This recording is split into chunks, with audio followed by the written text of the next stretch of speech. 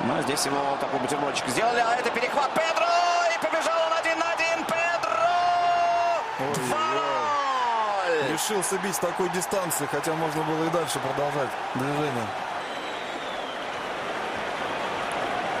Казалось бы, момент уже потерян. Три игрока разобрались с одним. И вот здесь очень неудачная передача. То, что он решил бить с такой дистанции, это говорит об уверенности. Или то, что увидел, что вратарь Здесь ворот видел потерял. вратарь Пора. немножко, да, потерял ворота. Вот с этого повтора очень видно, что вратарь потерял угол, конечно. И Втор- второй правильно сделал.